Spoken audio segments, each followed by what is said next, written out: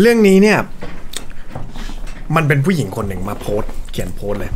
สวัสดีค่ะ ดิฉันชื่อตึ๊ดตึ๊ดตึ๊ดตึ๊ดตึ๊ดแต่นะไม่รู้ชื่อจริงชื่อปลอม แต่เขาใส่ชื่อมาอ่าฉันมีลูกชายคนหนึ่ง ตอนนี้อายุประมาณสามขวบ แต่ฉันไม่อยากให้ลูกชายคนนี้ โตขึ้นเป็นผู้ชาย ฉันอยากจะแปลงเพศเขา คืออยากได้ลูกผู้หญิง อยากได้ลูกผู้หญิงอ่าเออแปลคือเขียนเขียนมาอย่างนี้ ฉันอยากจะแปลงเพศเขาเอ่อทุกวันนี้ฉันเลี้ยงเขาเหมือนลูกผู้หญิง คือให้เขาแต่งตัวให้เขาอะไรเป็นผู้หญิงหมดอืมเอ่อแต่มันก็ต้องมีจุดหนึ่งที่เหมือนกับว่าที่ต้องไปโรงเรียนเพราะสามขวบยังไม่เข้าโรงเรียนใช่ไหมอืมที่ต้องไปโรงเรียนที่จะต้องเริ่มแต่งยูนิฟอร์มอืมที่จะต้อง เรียกว่าไงอะที่จะต้องรู้ว่าตัวเองเป็นเพศชายหรือเพศหญิงใช่แต่ฉันอยากให้เขาคิดว่าตัวเองเป็นผู้หญิง ฉันควรจะทำยังไงดี อันนี้เนี่ยถือว่าแปลกมากไหมที่ญี่ปุ่น แปลกมากตามเขาจะเพราะว่าเหมือนกูรู้ อันนี้มันคือเหมือนกูรู้ ว่ามันจะมีแบบพวกแบบเอ่อเขาเรียกว่าอะไรอะพวกที่เขาเป็นเป็น culture การชอบชายแต่งหญิงอะอืม เขาเรียกว่าอะไรวายเหรอเออเออไม่ใช่พี่วายมันคือชายชายอ่าไม่ก็หญิงหญิงเอใช่ไหมอคือเออมันจะมีมันจะมีมันมีพวกพวกจำได้เหมือนเห็นแบบผ่านผ่าน Facebook อะอ่าคือมันมันก็จะไม่ใช่แบบตุ๊ดหรือแบบเอ่อ กระเทยนะมันจะไม่ใช่นะ คือมันจะเฉพาะผู้ชายแบบไอ้เจงอย่างเงี้ยที่แบบผอมๆสเลนเดอร์มากๆ ขาวๆเลยมันอะมันมีคำของมันอยู่แต่มันเรียกว่าพวก VK อะไรพวกเนี้ย VK เออนี่นี่เขาเรียก cross dress new อ่า type dress สาวดุนเออ ใช่ถ้าแปลไทยมันคือสาวครัดุบนอืมแล้วเอออะไรอย่างงั้นอะเออ น่าจะพอนึกภาพกันออก ฉะนั้นก็กูก็เลยถามว่าที่ญี่ปุ่นมันมันนับว่าแปลกมากไหมอันนี้มันนับว่าแปลกเขาบอก trap trap trap trap กันวะเออเอออันนี้มันนับว่าแปลกแต่คือไอ้พวกนั้นอะหนึ่งคือ มันเป็นโอทาคุระดับแบบระดับระดับเลยโลกไปแล้วอะระดับลึกลึกจัดอะอ่ามันก็เลยเหมือนกับว่าตัวเองกูชอบคนนี้มาก กูอยากเป็นคนนี้อ๋อแต่กูไม่ได้อยากเป็นผู้หญิงอ่าอ่าโอเค มันก็แยกกันได้คือโตอ่าแล้วไงโตแล้วแยกชีวิตจริงกับงานอดีเลกอะไรอย่างงี้ใช่ไหมใช่ใช่โอเคโอเคก็จะไม่ได้เป็นเกย์ไม่ได้อะไรเสมอไปอ่าฮะแต่ก็จะอ่าฮะแต่งหญิงอะไรอย่างนี้ แต่อันนี้คือแปลกเลย อันนี้คือแปลกเลเพราะยถ้านับเป็นเมืองไทยก็ถือว่าแปลกมากคนก็เลยมาตอบ คนก็เลยมาตอบกันเยอะแยะเลยอืมว่า เฮ้ยเออจะดีเหรอ เฮ้ยเอ้ย เด็กมันยังเด็กอยู่เลยนะ ปล่อยให้เด็กเขามีทางเลือกหรือเปล่าอืมอืมแล้วมันก็มีแบบจริงจังมาเลยว่าเนี่ยคุณไม่ควรบังคับเด็กให้เด็กมันเป็นอย่างนี้นะทำไมคุณถึงบังคับให้เขาเปลี่ยนเพศอืมถ้าคุณเอ่อถ้าคุณอธิบายเหตุผลของคุณเนี่ย เดี๋ยวผมก็จะช่วยอย่างเต็มที่ ผมมีวิธี อืมมีอันนี้คือคนมาตอบ ใช่ คนมาตอบพ อตอบเสร็จปุ๊บไอ้ผู้หญิงคนนี้ก็บอกว่าเออขอบคุณมากค่ะที่มาตอบเออวันเนี้ยเดี๋ยวฉันจะมาเล่าเรื่องของฉันให้ทุกคนฟัง คือออสามีของฉันเนี่ยนอกใจฉันไปมีผู้หญิงคนอื่น แล้วเด็กออตอนนั้นเนี่ยคือเด็กตอนตอนที่รู้ว่าสามีนอกใจเนี่ยคือเขายังเด็กมาก แล้วก็มันเป็นลูกของไอ้ผู้ชายคนนั้น ฉันไม่อยากให้ลูกของฉันโตขึ้นเป็นแบบผู้ชายคนนี้ อ๋อเป็เขานก็เลยปมอยากให้ลูกเขาเป็นผู้หญิง เลยอยากให้ลูกเป็นผู้หญิงอ่าฮะเออทุกคนก็เลยแบบเอ้ยเออมึงฟังดูชีวิตเศร้า อาจจะมีเหตุผลอะไรอย่างงี้อ๋อเออได้ครับ ผมพอจะมีวิธีแนะนำอยู่ คุณอยากจะรู้ไหมถ้าคุณรู้คุณต้องเตรียมใจให้ดีนะคนอื่นก็เมนมาตอบเมนมีมาเมนตอบนะอืมเขาก็บอกว่า ได้ค่ะ ฉันเตรียมตัวแบบว่า คือเตรียมใจแบบยอมแม้กระทั่งถือกันไกรตัดลูกตัดขอตัดเจียวของผู้ชายของเด็กเด็กอืมแล้วอะ เออก็แบบพอจะมีวิธีไหนไหมอะไรเงี้ย ถ้าไปโรงพยาบาลโรงพยาบาลแน่นอนว่าไม่ไม่ไม่แปลงเพศให้แน่นอน ยังเด็กอยู่อืมก็พร้อมพร้อมจะรับฟังค่ะ ผู้หญิงก็มาพิมพ์ตอบ แล้วก็มันก็พิมพ์พิมพ์พิมพ์พิมพ์พิมพ์ตอบกันเรื่อยๆก็ยาวอะแล้วก็มีไอ้ผู้ชายคนเนี้ยที่มันจะมาเม้นจริงจังทุกครั้งอะอืมก็มาบอกว่า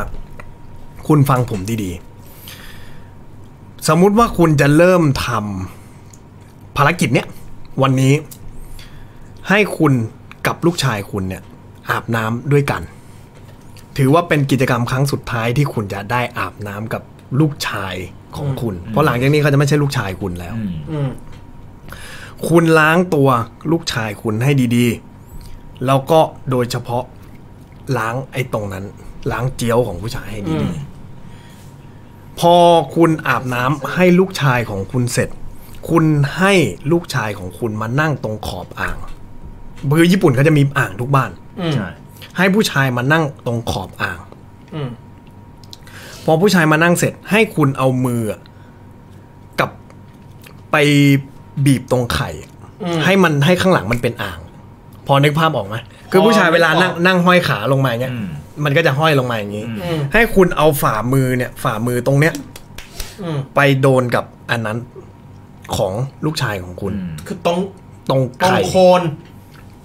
ตรงไข่ ไข่มันจะห้อยลงมาสองลูกอย่างงี้ไข่นะ อ๋อไม่ไม่ไม่ไม่เฉพาะไข่ไม่ใช่แล้วเราเนอะ ไม่นับไส้กรอกไม่ไม่นันับบไส้ไส้กกรรออกกอ่าเราเอาเอาอุ้งมือเนี่ยดันเอาอุ้งมือสองไข่กับอ่าง อ่าอ่าอันนี้ไม่ตลกนะไม่ตลกนะ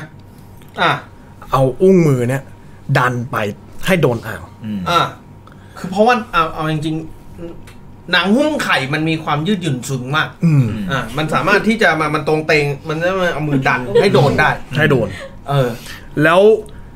อึดใจเดียวให้คุณบีบลงไปให้แตกทั้งสองอันโอ้โหกูฟังต่อไม่ไหวแล้ว เฮ้ยมันมันแบบ นี่มันไม่ใช่เชิงสยองอะมันเชิงแบบเจ็บปวดจิตไม่ใจอะปกติพวกเรานี่แค่โดนแบบแตะนิดเดียวนี่มันร้องแล้วนะ มันก็ใช่ เขาบอกว่าอะยังมีต่ออีกยาว เขาบอกว่า พยายามอย่าให้มันปลึด เพราะว่าไข่มันปลึดง่าย เลือดคือ ถ้าลื่นหลุดจากอ๋อมือมันไม่อยู่ในปลิ้นระยะ อย่าให้มันปลิ้นเออบลงบลุกอ๋อเพราะว่าถ้าถ้ามันบล้องฝั่งเดียวอะ อะตกลงบล็อกหรือบลิกบลึดบลึดเอาเป็นว่ามันมันหลุดมันอาจจะหลุดตรงแรงกดที่เราบีบอ่าอาจจะหลุดมันให้คุณระวังอย่าให้มันหลุด เพราะว่าถ้าคุณหลุดแล้วคุณ คุณบี้ได้แค่ขายข้างเดียวลูกชายคุณจะเจ็บฟรีอ่าเพราะมันต้องอีกที มันต้องอีกทีอ่าพอคุณบีบให้มันพังไปแล้วสองใบเนี่ย ให้คุณกอดลูกชายให้แน่นๆ เพราะว่าลูกชายคุณจะเจ็บมาก อ่าจะเจ็บถึงขั้นแบบเจ็บเจ็บพูดอะไรไม่ได้ แล้วคือจะเจ็บจนจะตายเลย อ่าจังหวะนั้นให้คุณกอดลูกชายไว้แน่นๆ แล้วปลอบใจลูกชายว่าเนี่ยไม่เป็นไรไม่เป็นไรไม่เป็นไรแล้วให้คุณโทรหา พยาบาล ให้เรียกรถพยาบาลอ่าพอรถพยาบาลมาถึงแล้วเนี่ย ลูกชายคุณก็จะไปเอ่อไปที่โรไปที่โรงพยาบาลแล้วคุณก็ต้องอธิบายเอ่อที่โรงพยาบาลว่าลูกชายของคุณลื่น ลื่นระหว่างขอบอ่างอ่าแล้วมันแตกทั้งคู่อ่าให้คุณอธิบายอย่างนั้น แล้วถ้าหมอเป็นหมอผู้หญิง คุณสามารถคุยกับหมอได้ง่ายหน่อยว่า เออ เนี่ยเพราะอนาคตลูกชายเขาจะผลิตลูกไม่ได้แล้ว ให้เขาตัดจูไปเลยได้ไหมอืมถ้าเป็นหมอผู้หญิงเขาจะทำให้ประมาณ 80%แต่ถ้าเป็นหมอผู้ชายเขาจะไม่ค่อยยอมทำให้ ก็จะเหลือเปอร์เซ็นต์แค่ 30%ถ้าใน worst case คุณหมอไม่ยอมตัด แปลงเพศของลูกชายคุณให้เนี่ย อยากให้เออคุณอะต้องกั้นใจ เอากันไกลอะไปตัดของ ลูกชายคุณเอง เวลาตัดเนี่ยตัดให้ดีๆ ดึงดึงให้มันตึงสุดดึงให้มันตึงแล้วตัดเลยฉับเดียว พยายามให้มันหลึกอยู่ในฉับเดียวเพราะไม่งั้นลูกชายคุณจะ คุณจะตายคุณไม่ต้องกลัวว่าลูกชายคุณจะตาย เพราะตอนนั้นลูกชายคุณนอนอยู่ในโรงพยาบาลอ๋อและแน่นอนว่าโรงพยาบาลเนี่ยเขาไม่ยอมเหมือนกับเขาไม่ยอมให้เรื่องเนี้ยหลุดไปในพับลิกอ่าแน่นอนอ่า เขาจะเก็บเรื่องนี้เงียบ อืมผมอธิบายคุณมาขนาดนี้แล้ว คุณจะทำยังไงแล้วแต่คุณ อืมมันตอบมาอย่างนี้ อืมนี่ทำไมมันรู้ดีจังวะนั่นน่ะดิ เออเออโอเคต่อ หลังจากนั้นก็หายบล็อกเงียบไปเลย อาทิตย์หนึ่งผู้หญิงไม่มาตอบไปเลย ประมาณอาทิตย์หนึ่งเออ จนเขามาตอบเออสวัสดีค่ะทุกคน ขอโทษที่ให้รอนาน หายไปอาทิตย์หนึ่ง เออตอนนี้ลูกชาย เอ้ย ไม่ใช่สิ ลูกสาว แน่นแน่ ของฉันสบายดีเออเอ่อทุกอย่างไปเป็นไปตามแผนอืมเออคือทำแล้วอะเออทำที่เออแนะนำแล้ว ทุกอย่างเป็นไปตามแผน แต่ไม่รู้ว่าอนาคตจะเป็นยังไง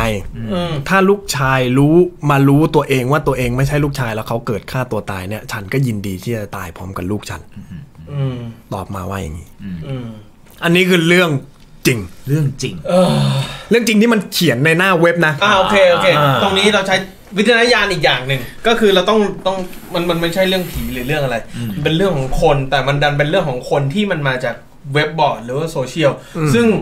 เอ่อถ้าตามหลักการของนักสืบพันทิปเนี่ยคือจะมองว่าสองคนที่โต้ตอบอะอืมเป็นเป็นคนเดียวกันก็ได้อ่าอืมเออที่ที่ที่อยากจะสนุกกับการที่มีคนมาเม้นอะไรอย่างนี้อืมคือคือ มองมันกลางๆแล้วกันอืมเพราะเราก็ไม่ได้เอาหน้าจริงมาเปิดให้ดูใช่แต่ว่านั่นแหละครับสองเรื่องเรื่องที่สองกับเรื่องที่สามเมื่อกี้เนี่ยคือระดับ legendary ของเว็บบอร์ดใช่นี่จังนี่ฉันใช่แล้วครับ โอ้โห กูไม่เคยกูไม่ไหวกูไม่ไหวเป็นเป็นความรู้สึกใหม่ไหมเรียกว่าเป็นความรู้สึกใหม่เลยนะ ไม่ไหวจริง มันไม่ใช่น่ากลัว อันเนี้ยไม่ใช่กูว่าสยองขวัญผู้หญิงอะจะไม่เข้าใจเว้ยว่าเรารู้สึกยังไงกันๆพี่เคยโดนหนักสุดคือยังไง ก็คือแม่งแบบแม่งไม่พูดอะไรไม่ออกเลยอะแม่งแบบมึงเคยเห็นช็อตที่แม่งแบบละครชอบกันนะเตะเตะแล้วเด้งแล้วแบบทำเป็นจุกอะไรเงี้ยเออไอ้ที่มันคือแบบ มันยิ่งกว่านั้นอะมึงเออเออมันคือแบบโอ้โหไอ้เฮียชีวิตกูล่มสลายแล้วอะใช่กูแบบกูแบบทำอะไรไม่ได้แล้วจูกูกูแบบอาณาจักรกูแบบกูแบบมันแบบประตูเมืองกูพ่ายเนี่ยคือแบบมันอย่างนั้นเลย ผมเคยโดนสองเข่าสองข้างอะออนไมนีเลยอะเออคือเข่าไปจูบพื้นเลยอะเออเล่นบาสกับเพื่อนอืมบาสใหญ่ๆเลยแล้วตอนนั้นประมาณถ้าจำไม่ผิดน่าจะไม่มสองแล้วมสามอืมมันก็ไม่ใช่คนที่แบบโตโตๆอืม เพื่อนก็ส่งมาสุดแรงอืมส่งด้วยท่าเนี้ยท่าเนี้ยอืมท่าเนี้ยอ๋อผลักผลักบอลจะเร็วมากอ่าเออ แล้วทีนี้มันก็เด้งพื้นทีหนึ่งอืม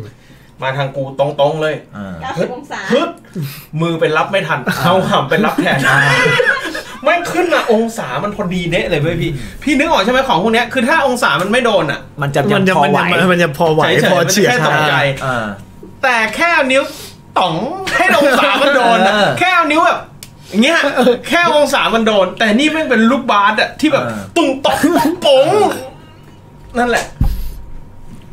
แน่นแน่นเออแน่นเข้าใจเข้าใจนักงานก็เคยโดนเหมือนกันเออไม่เอาแล้วนะเรื่องอีกกูไปแบบไม่เอาเลยไม่ไหวเลยจริงแล้วแม่งแบบว่ามันไม่ได้เกิดขึ้นจริงกับเราอะนะแต่แค่เราเออคิดเราก็เหมือนกับแบบ คือมันฟังแล้วมันอยู่ไม่ไหวอะกายกายทิพย์เราอะมันมันไปแล้วอะใช่มันเห็นไอภาพตอนตามที่ที่ที่มึงเล่า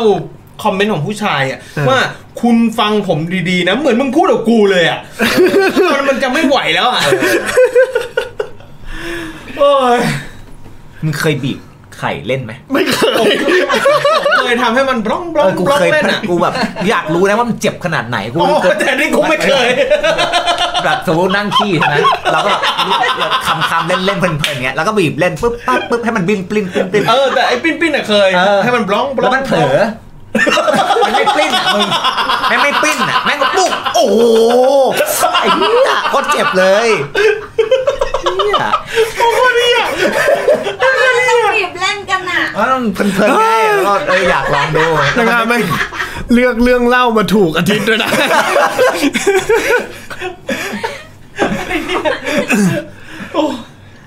เออ เหนื่อยเลยดีๆดีๆกูนึกว่ากูมากูจะเจอเรื่องผีกูกลัวไงอะมาเราสู่เออเรื่องผีดีกว่ามามีเรื่องผีอีกเหรอเอ้ยไม่มีชิบหายอันนี้แล้วอันนี้มันเป็นแบบว่า เรียกว่าไงอะคือคือรายการเนี้ยมันจะไม่ใช่มีแค่ผีอย่างเดียวอ่าอ่าอ่ามัมันจะมีทั้งเรื่องโรคจิตเรื่องมาจากคนเรื่องอ่าประสบการณ์โดยตรงเรื่องอ่าอะไรอย่าง